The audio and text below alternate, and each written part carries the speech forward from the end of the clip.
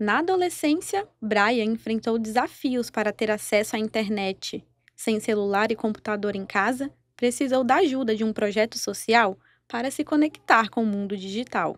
Me trouxe cidadania mesmo, porque é isso. Sem celular a gente acaba sendo meio que um cidadão fantasma, né?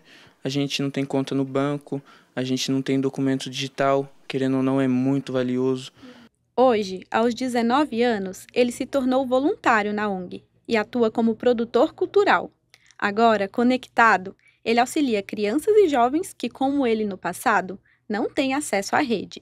Não basta só disponibilizar o acesso, eu tento sempre trazer informação para as crianças para elas saberem o, quais os as oportunidades e os perigos de ter internet. Uma pesquisa do Comitê Gestor da Internet no Brasil aponta que 84% dos brasileiros com mais de 10 anos são usuários da internet.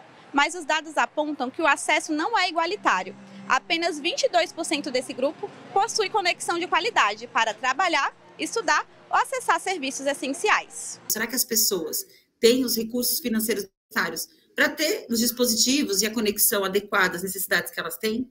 A gente fala de acesso a dispositivos, porque a gente sabe que o celular foi super importante para democratizar o acesso, mas que o tipo de uso que ele permite é diferente do que aquele que as pessoas fazem quando usam o computador, né? Estar offline em um mundo hiperconectado pode deixar de fora da vida de muitos jovens a possibilidade de fazer escolhas para o futuro, seja pela falta de acesso à educação, a melhores oportunidades de emprego. Você não consegue acessar boas informações é, políticas ou de educação, você não consegue acessar um, boas situações de lazer, né? Porque mesmo que a pessoa, às vezes, ah, ela não consegue é, ir até um teatro, ela não consegue ir até um, um, cinema por uma questão de renda, com a internet a gente conseguiria democratizar isso, disponibilizar isso para todas as, as pessoas. Dificuldades essas que são potencializadas a depender da localidade da população.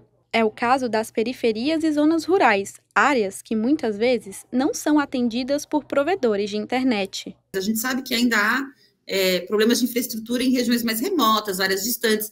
Já tem políticas sendo endereçadas nesse sentido, você tem que fazer investimentos mais localizados, talvez contar com a ajuda de pequenos provedores, que são eles que chegam na ponta, em localidades mais distantes, mas isso também já está sendo endereçado. Para o produtor cultural, o acesso à internet para todos não é o suficiente. A conexão precisa vir junto com a informação. A gente tem que trazer informação principalmente para o público mais velho. As pessoas mais idosas, os mais velhos, eles são os que mais caem em golpe na internet.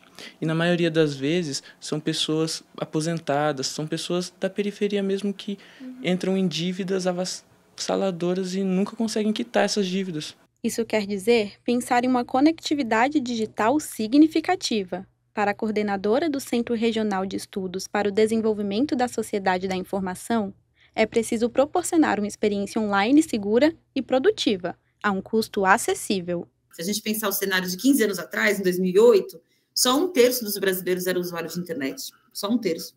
E desse um terço, só metade deles usavam a internet todo dia. Hoje a gente tem 83, 84% de usuários de internet no Brasil e todos eles, quase 95% deles, usam a internet todo dia. Então, é uma revolução, né? A gente está vivendo um outro mundo mesmo. É, e esse, mas esse mundo tem que ser para todos, com condições adequadas é, para essa conectividade.